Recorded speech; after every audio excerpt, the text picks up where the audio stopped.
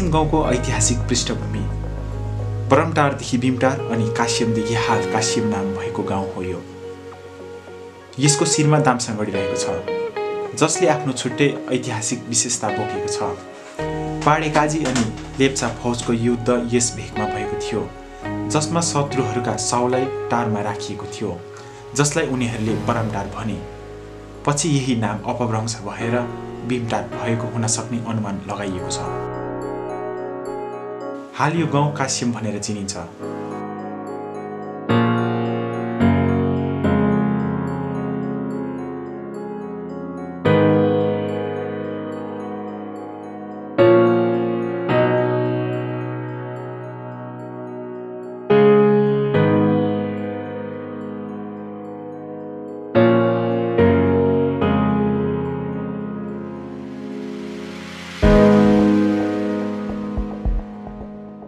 कास्यमलाई अब भीमटार पनि भन् भनिन्थ्यो भनिन्छ अहिले पनि। है हामी लेख्दैनौँ भीमटार तर भन्न चाहिँ भन्छौँ है। कतिजनाले भीमटार कमाल पनि भन्छन्। भीमटारको पनि मैले पार्टिकुलर त्यस्तो मेरो पाइनँ तर जब चाहिँ यो पाँडे काजीको कथा हामीले पढ्यौँ पढ्दाखेरि त्यहाँनिर बरमटार भन्ने शब्द मैले पाएँ। अनि बरमटारको अर्थ चाहिँ त्यहाँनिर त्यो कथन स्पष्टसँग बताइएको छ कि शत्रुहरूलाई मारेर एउटा मैदानमा ताँत लगाइयो बराम लगाइयो। अनि त्यो मैदानमा त्यो टारमा चाहिँ बराम लगाइएको कारणले गर्दाखेरि चाहिँ त्यो ठाउँको नाम चाहिँ बरम टार भयो भनेर त्यहाँ लेखिएको मैले पाएँ। अनि त्यो बरम टार चाहिँ अपभ्रंश भएर बुमटार बिमटार भएको पनि मैले पाएँ। अनि यो बिमटार भन्ने जग्गा चाहिँ सिक्किममा पनि छ। अन्त यो गाउँलाई पनि अब बिमटार भनिन्छ है भनिँदैछ र किन भनियो? र त्यो कथासँग यसको केही मिल्दोजुल्दो ऐतिहासिक पृष्ठभूमि चाहिँ के होला भनेर मलाई त्यो जान्ने जिज्ञासा भयो। त्यसो हुँदाखेरि पछिबाट मैले लेप्चाहरूसँग अन्त दार्जिलिङ कालिम्पोङसँग रिलेटेड हिस्टोरिकल बुक्सहरू किनेर पढ्न थालेँ। यसरी थुप्रै किताबहरू पढ्दाखेरि चाहिँ एउटा के निचोडायो भने पाँडे काजीले चाहिँ यो ठाउँ पनि सिक्किमकै भूभाग भएको कारणले गर्दा अनि यहाँ गढी भएको कारणले गर्दाखेरि भुटानको डुक्पा फौजले मात्र नभएर नेपाली फौजले पनि पृथ्वीनारायणको फौजले पनि दामसाङगढी दालिमगढी अनि राबदेन्चीतिर आक्रमण गरेको कुराहरू प्रशस्त मात्रामा पाइयो र यसरी गढीहरू आक्रमण गर्दै जित्दै जाने क्रममा चाहिँ पाँडे काजीले चाहिँ आफ्नो फौज लिएर चाहिँ मनसङको उकालो आयो भनेर मैले धेरै अगाडि एउटा पत्रिकामा पढेँ। अनि त्यसो हुँदाहुँदै चाहिँ मनसङबाट उकालो आयो भनेपछि उनीहरू गढीतिर आयो। अनि मनसङको उकालो भनेपछि यो जो अहिले चौबिस गोदामको उकालो बाटो छ यो बाटोबाट भएर चाहिँ उनीहरूले चाहिँ यो गाउँमा चाहिँ आएर यो मैदानमा चाहिँ अलिअलि पुरा लेप्चा फोकसको उनीहरूको लडाइँ भएको बुझ्नमा आयो अनि त्यसरी लडाइँ हुँदा चाहिँ उनीहरूले धेरै सङ्ख्यामा लेप्चा लेप्चा फौजलाई मारेको अनि मारेर चाहिँ यो मैदानमा चाहिँ उनीहरूले त्यसरी नै बराम लगाएको। है। अनि बराम लगाइसकेपछि चाहिँ एउटा मैदानमा उनीहरूले बराम जब लगाए त्यसपछि नै त्यो ठाउँलाई पनि बरामटार भन्यो सिक्किममा जस्तो। र पछिबाट चाहिँ त्यो अपभ्रंश भएर चाहिँ हामीले विन्टर भन्न थालेछौँ भन्ने त्यस प्रकारको एउटा बुझ्न भयो। दार्जिलिङ पहाडको कालेबुङ जिल्लाभित्र रहेको मनसङ सिङ्कुना बगान अन्तर्गत काश्यम पर्दछ यस गाउँको वरिपरिका जङ्गलहरूमा ऐसलो घारी रहेको छ। लेप्चा भाषामा कास्यम कोङ शब्दको अर्थ हो ऐसलो घारी। यसको आधारमा पनि यस भेगको नाम लेप्चा भाषामा राखिएको हुन सक्ने लेखक नवीन स्पन्दन बताउँछन्। कास्यम सिन्कुना बगान विशेष सिन्कुना खेती पूर्ण राईज्यूले जुन लेख्नु भएको छ त्यसको आधारमा भन्नुपर्दाखेरि नाइन्टिन हन्ड्रेड थ्रीमा कास्यम सिन्कुना बगान खुल्यो भन्ने बुझिन्छ अनि त्यस बेलाको प्रथम कास्यमको डिभिजन अफिसर चाहिँ एचएफ ग्रिन भनेर अघि मैले भने है? उहाँ हुनुहुन्थ्यो रहेछ। अनि त्यस बेला अब जब सिन्कोना बगान खोलियो खोलिसकेपछि यहाँनिर कर्मचारीहरूको अभाव थियो। अनि त्यो कर्मचारीहरू चाहिँ अब वरपरबाट खोजेर ल्याउनु पर्ने है त्यस्तो स्थिति थिएछ। अनि त्यसको निम्ति चाहिँ यहाँको प्रथम सरदार चाहिँ भगतराम राई भनेर त्यहाँ नाम दिएको छ। अनि यो काश्यम जुन स्थान नाम छ यो स्थान नाम चाहिँ कसरी भयो भन्ने प्रसङ्गमा म आफूलाई पनि एउटा जिज्ञासा थियो। अनि यसरी हेरेर मैले कतिवटा धेरैवटा शब्दकोशहरू पल्टाएर हेरेँ है। अनि हेर्दाखेरि मेरो काश्यपको पार्टिकुलर त्यस्तो मिनिङ अनि त्यस्तो शब्द त्यो पाइनँ मेरो नेपाली शब्दकोशहरूमा अन्त यसरी नै खोज्दै जाँदाखेरि दामसङगढीसँग रिलेटेड अब दामसङगढी चाहिँ एउटा लेप्चाहरूको गढ भएको कारणले गर्दा र लेप्चा शब्दकोशहरूमै हो कि यो चाहिँ केही हुनुपर्छ भनेर चाहिँ मैले त्यो लेप्चा इन्साइक्लोपिडिया मैले खोलेर हेरेँ। हेर्दा चाहिँ त्यसमा मैले यो काश्यमको अर्थ पाएँ। अनि त्यसको साथसाथमा मैले एउटा यो मेडिसिनल प्लान्ट्स लेप्चाहरूको glossary of Lepcha medicinal plants यो पनि मैले अक्सफोर्ड दार्जिलिङ अक्सफोर्डबाट यो किताब पनि किनेको थिएँ। यसमा पनि मैले काश्यम कङ भन्ने शब्द पाएँ। अनि त्यो काश्यम कङको अर्थ चाहिँ काश्यमको अर्थ चाहिँ ऐसुलो रहेछ। है? काश्यमको अर्थ चाहिँ ऐसुलो अनि अब ऐसुलु भनेपछि ऐसुलु त घारी छ माथि। जब हामी यो कोची काटेर माथि जान्छौँ है पुरा ऐसुलु घारी हामी यिनीहरू देख्छौँ। त्यसले गर्दाखेरि त्यो कुरा एकदमै एप्रोप्रिएट लाग्यो। है ऐसुलु घारी छ पनि अनि यो ठाउँलाई चाहिँ लेप्चाहरूले ऐसुलु घारी भनेर उनीहरूले नामाकरण गरेको रहेछ भन्ने कुरो जान्न पायो मनसङमा मङ्पुलाई कर्म थलो बनाएका नेपाली साहित्यमा कलम चलाउने स्वर्गीय पूर्ण राईले लेखेका स्रोत परक पुस्तक। सिन्कुनाको खेतीमा काश्यप कुइलेन बगान सन् उन्नाइस सय तिन सालमा आरम्भ गरिएको हुन सक्ने उल्लेख गरिएको छ। स्वर्गीय भूतपूर्व ग्याङम्यान एडी गुरुङहरू हुनुहुन्थ्यो। यो बिमटार नाम कसरी बस्यो होला भन्ने कुराहरू सोद्धाखेरि चाहिँ उहाँहरूले पनि यस्तै कुरा बताउनुहुन्थ्यो। र हाम्रो यहाँनिर श्रीमान दावा बमजन हुनुहुन्छ एकदमै वृद्ध अवस्थामा पुगेको एक्स चापासी पनि हुनुहुन्छ र उहाँलाई पनि सोद्धाखेरि पनि उहाँले पनि यही कुरा बताउनु भयो र काश्यम नाम चाहिँ पछिबाट पहिला पहिला उहिले उहिलेकोहरूले चाहिँ बिमटार नाम नै नामकरण गरिन्थ्यो। जब पछि पछि चाहिँ जब पढे लेखेको नानीहरू दाजु दिदीहरू सबै बढ्दै जाँदाखेरि चाहिँ काश्यम नाम चाहिँ पछिबाट यस्तै साठीदेखि यता चाहिँ काश्यम नाम बस्न थाल्यो भन्ने चाहिँ उहाँको भनाइ छ। बगान सुरु गर्दा अङ्ग्रेज साहबहरूले सरदारलाई वरिपरिका गाउँहरूबाट मजदुरहरू ल्याउन लगाई बगानमा कुइलेनको बिरुवा रोप्ने काम भएको थियो। स्वतन्त्रतापछि यस बगान पश्चिम बङ्गाल राज्य सरकार अन्तर्गत यही खेतीमा नै निर्भर रहेको छ। ब्रिटिसकालीन समयमा जब यो ठाउँमा सिन्कोनाको खेती अथवा कुलेनको खेती लगाउने जुन काम भयो अनि यसको साथसाथै बिमटार कमानमा कुलेनको खेती लगाउँदैछ त्यहाँ मान्छेहरूको भर्ना हुँदैछ। त्यहाँ मा मान्छे काम गर्ने मान्छे खोज्दैछ भन्ने खबर चाहिँ यहाँ वरिपरिको बस्ती इलाकाको मानिसहरूले पनि सुन्दाखेरि चाहिँ कुलेनमा चाहिँ कुलेनको फेदमा पैसा फल्छ भन्ने जुन उनीहरूले कुरा सुनेका थिए र किनभने त्यो समयमा एकदमै पैसाको कमी थियो पैसा रुपियाँ देख्थेन र कमान लगाउँदाखेरि चाहिँ यहाँ सरकारले धेरै खर्च गर्छ भन्ने उनीहरूले हिसाब राखेर चाहिँ उनीहरू यहाँ कमानमा काम गर्नु आएका थिए। कासिम निम्न बुनियादी पाठशाला।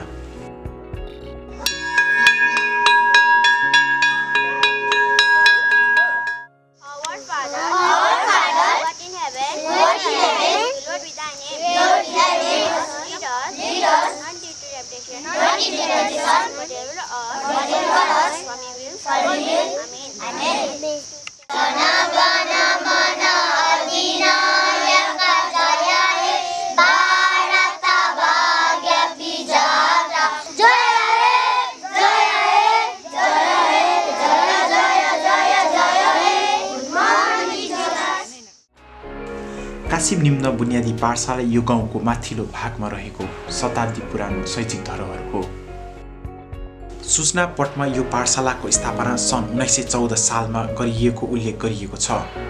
तर यसको प्रमाणिक दस्तावेज भने उपलब्ध छैन। स्वर्गीय पूर्ण राईद्वारा लिखित सिन्कुनाको खेती पुस्तकमा यस पाठशाला भवन सन् उन्नाइस सय बाह्र सालमा डाक्टर ग्रामकै अनुग्रहले भवन निर्माण गरिएको र पाठशालाको हेड पण्डित समालबुङ निवासी परमानन्द लेप्चा अनि छोटा पण्डित लालबहादुर थापा रहेको पनि उल्लेख गरिएको छ। कासिम निम्न बुनियादी पाठशाला सन् उन्नाइस सय चौध सालमा स्थापित भएको हो। पहिला यो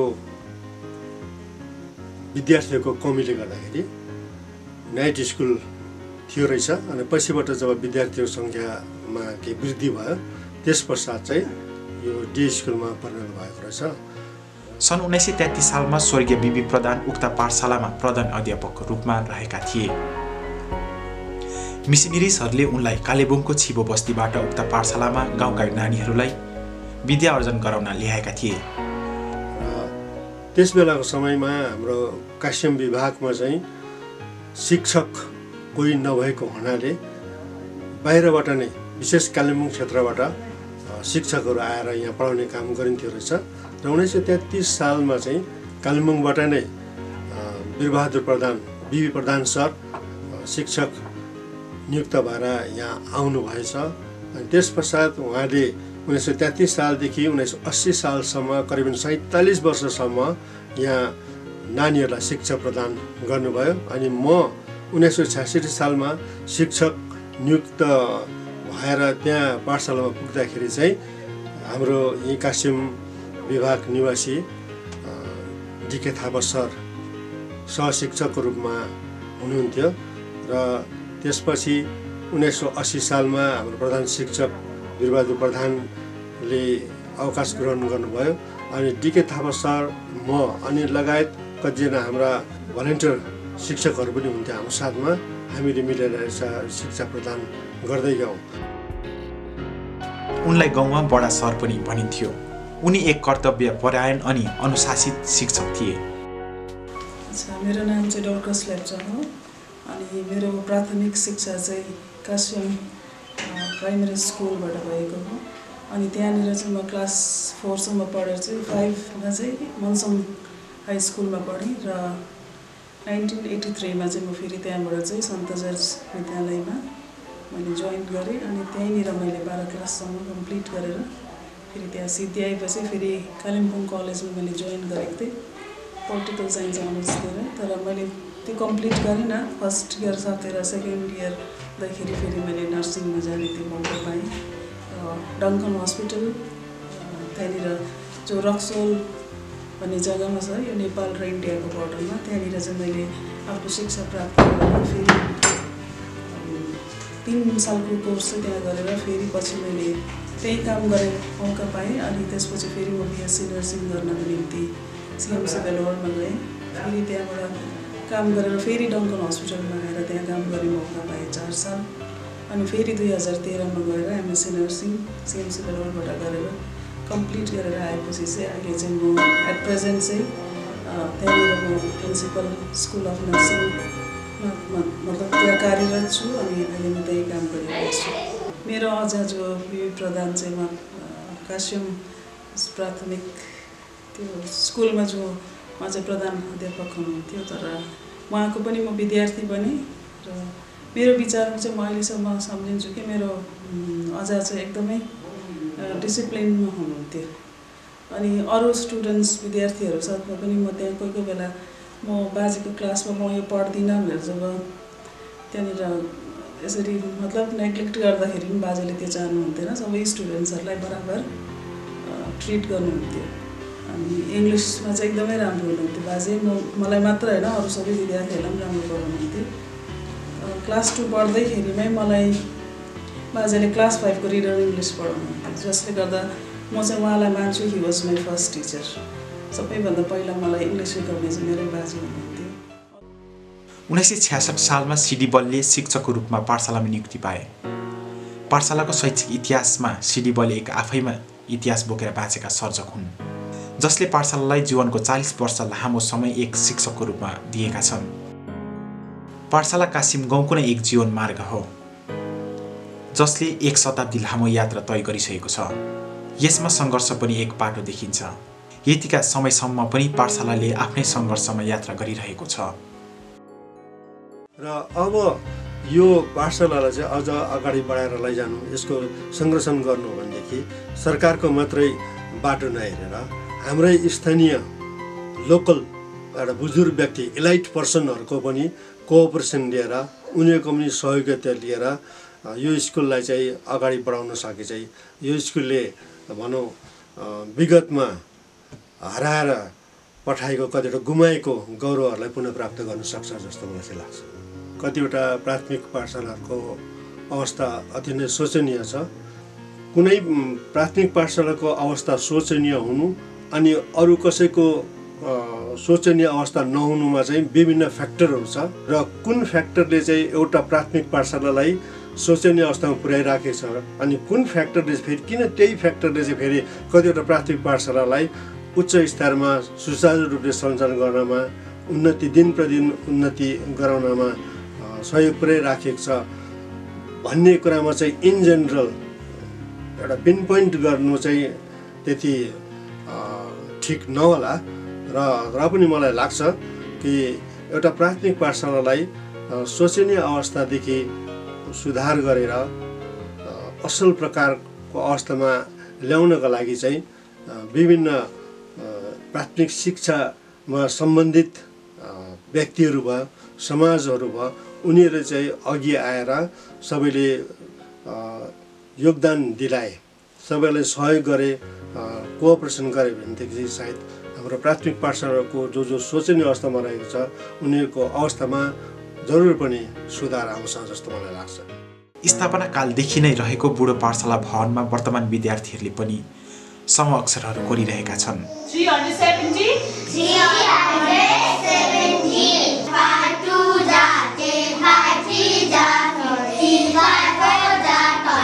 थुप्रै समस्याहरूको खेरमा रहेर पनि शिक्षादान गराइरहेका छन् शिक्षक शिक्षिकाहरू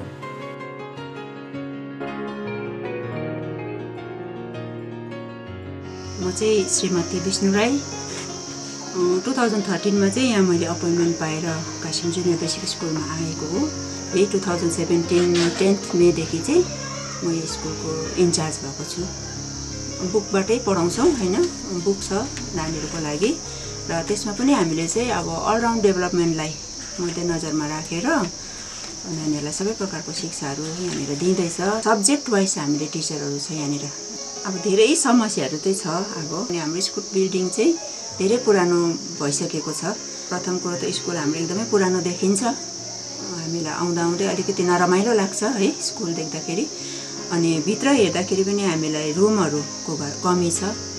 एजुकेसन राइट अनुसार त सिक्स टु फोर्टिन अथवा वान टु क्लास फाइभ रहेछ। तर अब अहिले धेरै सिस्टममा चेन्ज भएकोले गर्दाखेरि चाहिँ मानिसहरूको आवश्यकता अनुसार चाहिँ नर्सरीदेखि नै नानीहरू पढाउनु पर्ने स्थिति छ।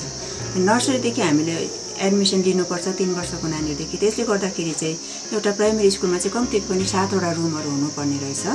तर यहाँनिर हाम्रोमा चारवटा रुम तिनवटा रुम छ र त्यहाँ चाहिँ हामीले एउटा कम्बाइन जस्तो क्लासहरू गर्नुपर्छ। टेम्परेरी बारहरू भएको छ त्यसले गर्दा प्रब्लम त्यहाँ छ हामीलाई। साउन्ड इको हुन्छ। अर्को क्लासकोले पढ्दाखेरि अर्को क्लासलाई डिस्टर्ब हुन्छ त्यो प्रब्लम चाहिँ एउटा है। अनि अर्को हाम्रो क्लासरुमहरू धेरै थोत्रे भइसकेको छ काठहरू मकेको छ। मेरो विचारमा चाहिँ यहाँ चाहिँ स्कुल बिल्डिङ नै न्यू कन्स्ट्रक्सन गर्नुपर्छ जस्तो लागेको छ। हामी अहिले एकदमै असुविस्तामा छौँ हाम्रो अफिस छैन। अनि सबै कुरो चाहिँ यही रुममा खाँदेर बसिरहेको छौँ है। टु थाउजन्ड इलेभेनको जस्तो भुइँचालो आयो भने चाहिँ अब हाम्रो स्कुल रहँदैन होला। यहाँनिर अलिकति नानीहरूलाई पनि खतरा हामीलाई खतरा हुने एउटा चान्स छ। त्यसले गर्दा स्कुल बिल्डिङ हामीलाई नयाँ चाहिएको छ। कासिम जुनियर बेसिक स्कुल चाहिँ एउटा न्यू कन्स्ट्रक्सन बिल्डिङ भयो भने चाहिँ एकदमै हामीलाई राम्रो हुन्छ।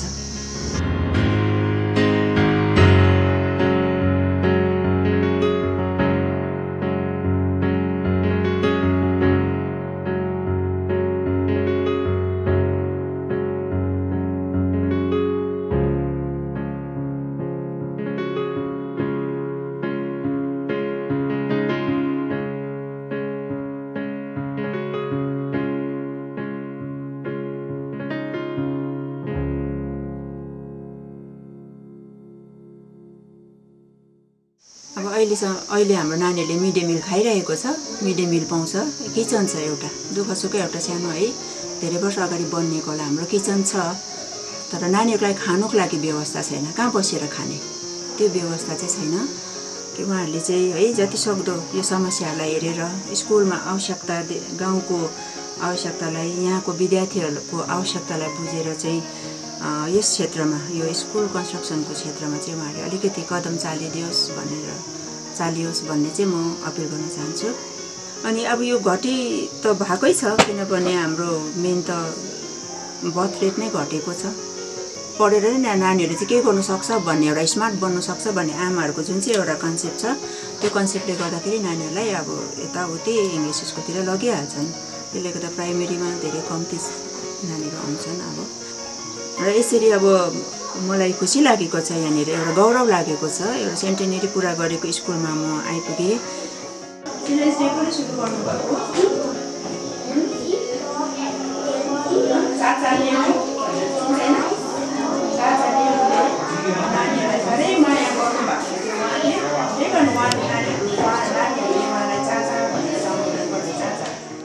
शिक्षक पेसा चाहिँ एउटा रेस्पेक्टेड जब हो। किनभने एउटा शिक्षकलाई समाजका सबै वर्गका मानिसहरूले सम्मान गर्छ। शिक्षक पेसाद्वारा नै अल्पविकसित अ, समाजलाई हामीले विकासको बाटोमा डोर्याउन सक्छौँ र गाउँघरलाई सभ्यताको एउटा भनौँ चरम सीमामा हामी पुर्याउन सक्छौँ। शिक्षकलाई चाहिँ राष्ट्र निर्माता पनि भनेर भनिएको छ। शिक्षाको घडेरी निर्माण गर्नुमा चाहिँ शिक्षक शिक्षिकाहरूको प्राथमिक शिक्षक शिक्षिकाहरूको ठुलो भूमिका रहेको हुन्छ। शिक्षक शिक्षिकामाथि चाहिँ एउटा स्टुडेन्टको जीवनलाई इन्फ्लुएन्स गराउने होइन प्रभावित पार्ने ठुलो शक्ति हुन्छ। र यो शक्तिलाई चाहिँ प्रत्येक प्राथमिक पाठशालाका शिक्षक शिक्षिकाहरूले चाहिँ बडो गम्भीरताको साथमा लिएर अप्नाएर एउटा अहम भूमिका निर्वाह गर्न सके अनि त्यसै कर्तव्यलाई सम्झेर त्यो ऊभित्र भएको जुन एउटा शक्ति छ त्यो शक्तिलाई चाहिँ युटिलाइज गर्न सके। उसले शिक्षा प्रदान गरेको नानीहरूले चाहिँ जीवनमा अवश्य नै सफलता प्राप्त गर्नेछ। म doctor Mendel Banshu Moktan senior scientist and head Darjeeling Krishi Vigyan Kendra उत्तर बङ्ग कृषि विश्वविद्यालय र म चाहिँ कासिम निम्न निम्न बुनियादी पाठशालाको चाहिँ अ, एक्स भूतपूर्व छात्र हुँ कासिम निम्न बुनियादी पाठशालाले शैक्षिक सामाजिक अनि बौद्धिक रूपमा चाहिँ यस स्कुलले योगदान प्रदान गरेको छ। यो स्कुललाई अझै हामीले यसलाई सुचारू रूपले चलाएर यसको गौरवलाई कायम राख्नुपर्छ। काश्यप निम्न बुनियादी पाठशालाको एक सौ वर्ष पार गरेको सुखद अवसरमा म सम्पूर्ण भूतपूर्व शिक्षक शिक्षिका साथै अहिलेका शिक्षक शिक्षिका साथै भूतपूर्व विद्यार्थी अहिलेका वर्तमान विद्यार्थीहरू अनि सम्पूर्ण कासिम कुइलेन बगानका बासिन्दाहरूलाई म सबैलाई शुभकामना टक्राउँदछु कासम प्राइमेरी स्कुल भनेको हामी अब ढुङ्गा क्लासदेखि है त्यहीँ पढेको। अहिलेको जस्तो त्यस बेला थिएन। अहिले त अब नानीहरूलाई होइन वाइट बोर्डमा पढाइन्छ है ढुङ्गा क्लास भन्यो भने अहिले त अब नानीहरू बुझ्दैन पनि है तर त्यस बेला चाहिँ एउटा काठको बक्समा मसिनो मसिनो ढुङ्गा जम्मा गरेर राखेको हुन्थ्यो। अनि ठुलो ठुलो दाजुहरूले भुइँमा उनीहरूले कोरिदिन्थे है कख के पढ्नुपर्छ त्यो दिन? त्यो माथि ढुङ्गा राख्नु पर्थ्यो है। र त्यहाँबाट हामीले सुरु गरेको त्यो पाठशालामा हाम्रो शिक्षा त्यहाँबाट सुरु भयो। काश्यम प्राइमेरी स्कुलसँग चाहिँ भावनात्मक सम्बन्ध चाहिँ प्रगाढ छ। काश्यम जो त्यो प्राइमेरी स्कुल छ त्यो चाहिँ अब हाम्रो शिक्षाको आज म जे छु त्यसको धरातल है। चाहिँ त्यही हो। आज गएर अब जे जति पनि गरौँला भोलि हामी जति पनि माथि जाउँला अघि तर त्यसको श्रेय चाहिँ अब त्यो काश्यमको प्राइमेरी स्कुलमा जान्छ। त्यो जस्तो थियो अहिले पनि त्यस्तै छ भन्ने कुरा जान्न सकेँ। तर अहिलेको यो मोडर्न यति साह्रो एडभान्समेन्ट भएको छ टेक्नोलोजिकल एडभान्समेन्ट सायद यसरी हेर्दाखेरि यसलाई लिँदाखेरि चाहिँ it should be well developed यसको इन्फ्रास्ट्रक्चर अझै त्यसलाई धेरै वृद्धि गर्न सकिन्छ। Not only infrastructure or education system पनि धेरै यसलाई अगाडि बढाएर लानु चाहिँ अति अनिवा अनिवार्य छ। अनि यसमा एकजनाले मात्रै हुँदैन धेरैजनाको सहयोग पनि चाहिन्छ। मेरो प्रारम्भिक शिक्षा चाहिँ काश्यम प्राइमरी स्कुलबाट नै गरेँ। त्यहाँदेखि अन्त म हाई स्कुलमा मनसम जुनियर हाई स्कुलमा पढेँ। त्यहाँदेखि आएर म कालिम्पोङ गर्ल्स हाई स्कुलमा नाइनदेखि पढेँ। त्यहाँबाट मैले हायर सेकेन्डरी पास गरेँ।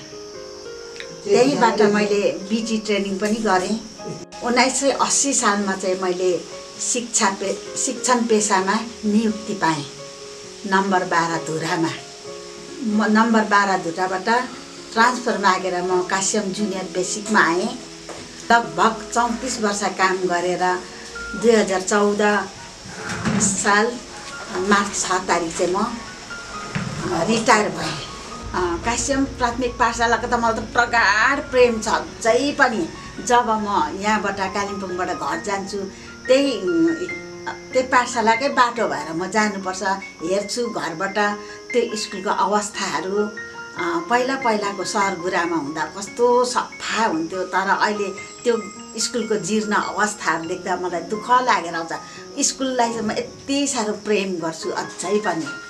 त्यो स्कुलको त्यो जीर्ण अवस्थाहरू देख्दाखेरि कसैले त्यो साम समाजमा कति त्यहाँ पढेर जाने कति त्यहाँको मानिसहरू ठुल्ठुलो ओहदामा नै छन् सबै मिलेर स्कुल चाहिँ एउटा गाउँको सम्पत्ति हो। सबैले नै मिलेर मन दिएर चाहिँ त्यो स्कुललाई अझै त्यहाँबाट त्यसलाई बढाउँदै लगेर त्यसको उद्धार गर्दै जाओस् अझै त्यसलाई बढाउँदै जाओस् अझै सुन्दर बनाओस् भन्ने मेरो मनमा भावना चाहिँ त्यस्तो आउँछ। सिडी बलको जन्म तेह्र जुलाई उन्नाइस सय छ्यालिस सालमा काशी निवासी स्वर्गीय केबी बल अनि माता स्वर्गीय सोलोमी बलको कोखबाट माइला छोराको रूपमा एक सामान्य परिवारमा भएको हो। परिवारमा धेरै सदस्य रहेकाले उनीमाथि सानैदेखि पारिवारिक जिम्मेवारी आइपरेको थियो। कासिम निम्न बुनियादी पाठशालाबाट नै बुनियादी शिक्षा आरम्भ गरेपछि सोही पाठशालामा नै शिक्षक बन्न पुगे। शिक्षक बन्न तीन प्रमुख कारणहरू रहेको र यसैबाट नै समाज अनि राष्ट्रको सेवा गर्ने मौका पाएको बताउँछन्। मेरो विद्यार्थी जीवनको यात्रा चाहिँ उन्नाइस सौ बाहन्न सालदेखि सुरु भएको हो र उन्नाइस सौ अन्ठाउन्न सालमा मैले कास्टिम प्राथमिक पाठशालाबाट चौथो श्रेणी उत्तीर्ण गरेँ। त्यसपछि उन्नाइस सय बैसठी सालमा मनसङ जुनियर हाई स्कुलबाट आठौँ श्रेणी उत्तीर्ण गरे पश्चात उन्नाइस सय छ्यासठी सालमा कुमुदिनी होम्स कालिम्पोङबाट मैले उच्चतर माध्यमिक परीक्षा उत्तीर्ण गरेँ। अनि त्यसपछि चाहिँ मेरो विद्यार्थी जीवनको अध्ययन चाहिँ समाप्त गयो किनभने त्यहाँदेखि उता चाहिँ मैले फर्दर अध्ययन गर्ने मलाई कुनै सौभाग्य प्राप्त भएन। उन्नाइस सय छ्यासठी सालमा प्राथमिक शिक्षकको नियुक्ति पाएर आफूले पहिला पढेको प्राथमिक पाठशाला काश्यममा प्रवेश गरेँ उन्नाइस सय उनहत्तर सालमा दार्जिलिङ रामकृष्ण जुनियर बिटी कलेजबाट बिटी ट्रेनिङ कम्प्लिट गरेँ उन्नाइस सौ अस्सी सालमा मभन्दा पहिलाको पूर्व प्रधानाध्यापक श्री बिबी प्रधानले आफ्नो नोकरीबाट अवकाश ग्रहण गरे पश्चात मैले हेडमास्टरको प्रधानाध्यापकको पदभार सम्हालेर दुई हजार छ सालसम्म त्यो पदमा म बनिरहेँ अनि दुई हजार छ सालमा चाहिँ म आफ्नो शिक्षक पेसाबाट अवकाश गरेँ। म मेरो आफ्नो शैक्षिक पेसालाई चाहिँ दुई प्रकारले हेर्छु। हेरेको पनि छु। पहिलो चाहिँ हो एउटा शिक्षक पेसाको द्वाराले चाहिँ हाम्रो अविकसित समाजलाई सभ्यताको गोरेटोमा डोर्याउने अनि शिक्षक पेसा अन्तर्गत नै आफ्नो राष्ट्रको सेवामा पनि आफूलाई संलग्न गराउने। म आफूलाई चाहिँ एउटा गर्व लाग्छ कि मैले सुरु गरेको समयदेखि लिएर अहिलेसम्मको त्यो पिरियडलाई हेर्दाखेरि हाम्रो गाउँघरका नानीहरूले धेरै नै शिक्षा क्षेत्रमा ज्ञान अर्जन गरेको छ। आफ्नो जीवनको चालिस वर्षको लामो समय सोही पाठशालामा एक आदर्श शिक्षकको रूपमा बिताए अनि सङ्घर्षलाई पनि नजिकबाट महसुस गरे। गभर्मेन्टले सरकारले चाहिँ अब कतिवटा दिनपर्ने सहुलियतहरू त दिइराखेको छ होइन?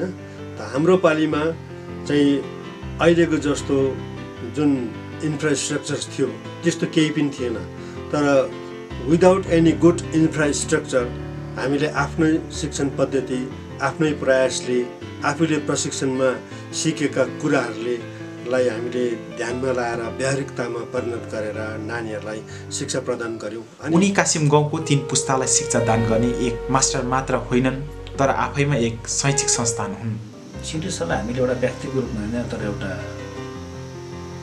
एउटा इन्स्टिट्युसनको रूपमा हेर्नुपर्ने व्यक्तित्व हुनुहुन्छ है सिडिसले एउटा मात्रै जेनेरेसन होइन बाउ छोरा अनि नातिसम्म पनि उहाँले पढाउनु भयो त्यसले गर्दाखेरि तिन जेनेरेसनलाई पढाउने शिक्षक है त्यसले गर्दा उहाँले एकदमै स्ट्रिक्टली नियमित रूपमा होइन सैद्धान्तिक तौरले एउटा सिस्टमेटिकली उहाँले स्कुल चलाउनु भयो अनि त्यो चलाउने क्रम चाहिँ जबसम्म उहाँ रिटायर हुनु भएन तबसम्म उहाँले जारी राख्नुभयो।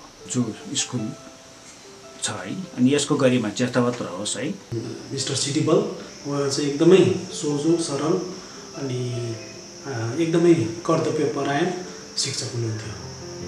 यो यसरी आफ्नो जीवनमा यति लामो समय शिक्षक को पेसा अप्नाउनु अनि यसलाई आफ्नो जीवनमा सफलताको रूपमा म म लिन्छु। शिक्षाको अध्ययन समाप्त गरे पश्चात धेरै बाहिर जाने मौका पनि पाएको अरू अरू सर्भिसहरू मैले पाएकै हो तर मैले त्यो सबलाई तिलाञ्जली दिएर आफ्नै गाउँघरको समाजको सेवा गर्ने दृढ सङ्कल्प लिएर मैले यति लामोसम्म शिक्षाको रूपमा नै आफ्नो जीवनलाई अर्पण गरेको छु। मैले आफ्नो जीवन शिक्षाको क्षेत्रमा एउटा शिक्षकको रूपमा बिताएँ चालिस वर्षसम्म। अनुशासन प्रिय अनि प्रेमपूर्ण व्यवहार राखेर पाठशालाका सबै शिक्षकहरूलाई सम्मान गर्ने गरेको उनका सहपाठीहरू बताउँछन्। त्यहाँको अनुशासन उहाँको पढाइ उहाँको प्रेम सबै टिचरहरूलाई उहाँले समान रूपले प्रेम गर्नुहुन्थ्यो। कहिले पनि कसैलाई पनि उहाँले चाहिँ अलिकति मन दुखाउने कुरा कहिले पनि गर्नु भएन।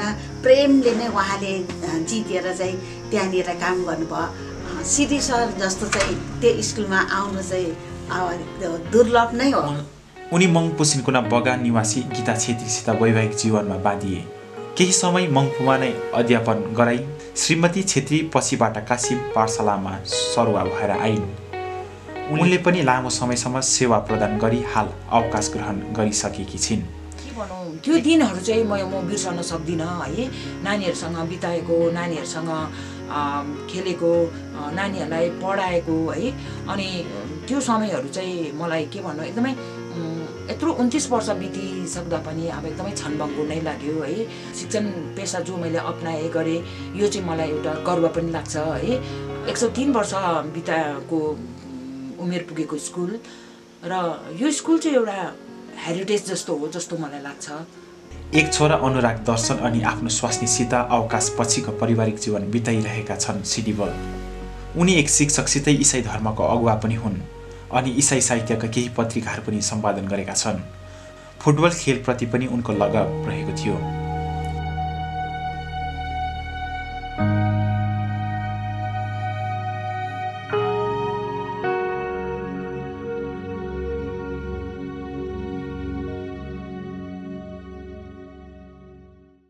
आफ्नो स्थापनाको एक सौ वर्ष मनाउनु पाउनु चाहिँ भव्य कुरा हो। एउटा गौरव गर्वकै कुरा हो है।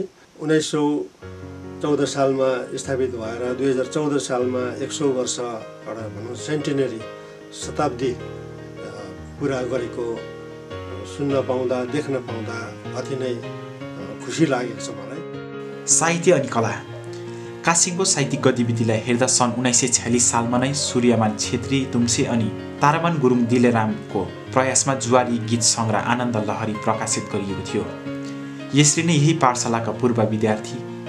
साहित्यकार नवीन स्पन्दनले मसालेको रोज नाम छ कविता सङ्ग्रह तादिवाचन लेख सङ्गालो प्रकाशित गरेका छन् भने गीती एल्बम हाम्रो दोर्लिङ पनि उनकै शब्द सङ्गीतमा श्रोताहरूमा पुगेको छ। रूपनारायण राईको सम्पादनमा लक्ष्य पत्रिका पनि दुई हजार पाँच सालमा प्रकाशित रहेको पाइएको छ। सिन्कोना युवा परिवार एक सामाजिक संस्था हो। बिस सेप्टेम्बर दुई हजार पन्ध्र सालमा गाउँका केही युवाहरूको प्रयासमा संस्था गठन गरिएको थियो। जसको नेतृत्व स्थानीय युवा समित तामाङले गरिरहेका छन्। अनि यो स्थापना हुँदा गाउँका वरिपरिका सचेत शिक्षित अनि सकारात्मक विचार भएका युवाहरूलाई लिएर यो स्थापना गरेको थियो। गाउँको सामाजिक अनि जनचेतना विकास गराउन संस्थाको मूल उद्देश्य रहेको समित बताउँछन्। सिन्कोना युवा परिवार जन्मनुको मुख्य उद्देश्यहरू चाहिँ बौद्धिक सामाजिक र राजनीतिक चेतनाहरूलाई विकास गर्नु चाहिँ मूल उद्देश्य रहेको हो। अनि फ्युचरमा गाउँलाई कस्तो प्रकारले हुन्छ? एउटा उच्च स्तर दिलाउनु साथै नानीहरूमा जनचेतना भर्ने काम युवाहरूले गाउँलाई कस्तो प्रकारले आफ्नो योगदान दिन सक्छ? त्यो विषयहरूमा युवाहरूलाई जनचेतना दिने कार्यक्रम आसिम निम्न बुनियादी पाठशालाको जुन एउटा वृत्तचित्र बनाउने हामीले सौभाग्य पायौँ। त्यसको निम्ति विशेष गरी स्कुल पक्षलाई म धन्यवाद दिन चाहन्छु। अनि जति पनि यो वृत्तचित्रको निम्ति टाढा नजिकबाट जतिले पनि हामीलाई सहयोग पुर्याउनु भएको छ उहाँ सबैलाई म संस्थाको पक्षबाट मुरीमुरी धन्यवाद दिन चाहन्छु। स्थापनाको दुई वर्ष अवधि संस्थाका युवाहरूले दर्जनौँ सामाजिक कार्यहरू गरिसकेका छन्। यसमा उनीहरू पनि बधाईका पात्र बनेका छन्। सिन्कन युवा परिवारले आफ्नो स्थापनाकालको छोटो अवधिभित्र भनौँ दुई वर्षभित्र नै धेरै नै सराहनीय प्रशंसनीय कामहरू गरेको हामीले देखेका छौँ। र सिवाइपी अति नै हाम्रो लागि गर्वको कुरो छ र सिन्कन युवा परिवारले हामीले देख्दासम्म धेरै क्षेत्रमा आफ्नो कामलाई अगाडि बढाइराखेको छ। सिन्कोना युवा परिवार जो सोसियल अर्गनाइजेसन्सले यो जति गरेको कामको लागि चाहिँ हामी धेरै मतलब you are feeling very good and great also कसरी तपाईँहरूले अझै अगाडि यो कुराहरूलाई चाहिँ अगाडि बढाएर लानु सक्नुहुन्छ अझै पनि? अनि तपाईँहरूको यो भित्रको इनिसिएटिभहरू very curious you're very curious also हामी आशा गर्छौँ तपाईँहरूले जो गर्नुभएको काम चाहिँ अझै अगाडि बढेर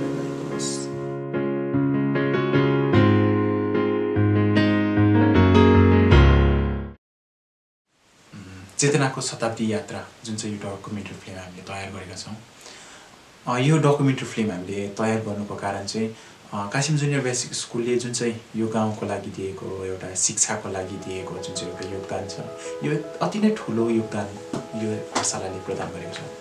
अनि यसकै एउटा सठिक मूल्याङ्कन हुनुपर्छ भन्ने हाम्रो एउटा धारणा हामीले बोकेका छौँ। सिडिबल सर जस्ता एक असल शिक्षकको जीवनीलाई हामीले यस डकुमेन्ट्रीमा समेट्न पाउँदाखेरि हामीलाई पनि गर्व महसुस भएको छ। स्कुलले दिएको यो जुन चाहिँ योगदान चाहिँ हाम्रै समाजको आँखाबाट दिन प्रतिदिन नै टाढा हुँदै गइरहेको हामीले महसुस गऱ्यौँ। अनि यो स्कुलको जुन चाहिँ योगदान छ स्कुलको जुन चाहिँ कन्ट्रिब्युसन छ सोसाइटीप्रति अनि यसलाई हामीले फेरि पुनः यही समाजको आँखा अगाडि ल्याउने हामीले प्रचेष्टा गरेका छौँ। प्रयास गरेका छौँ। यो डकुमेन्ट्री फिल्म बनाउँदाखेरि हामीलाई जुनै क्षेत्रबाट हामीलाई सहयोग गर्नुभएको छ विभिन्न क्षेत्रहरूबाट हामीलाई उहाँहरूले सहयोग दिनुभएको छ यसको लागि हामी आभार प्रकट गर्न चाहन्छौँ। अनि भविष्यमा पनि यस डकुमेन्ट्रीलाई लिएर तपाईँहरूको सुझाव तपाईँहरूको फिडब्याकको हामीले आशा राखेका छौँ। अनि आशा छ तपाईँहरूले हामीलाई एउटा पोजिटिभ फिडब्याक हामीले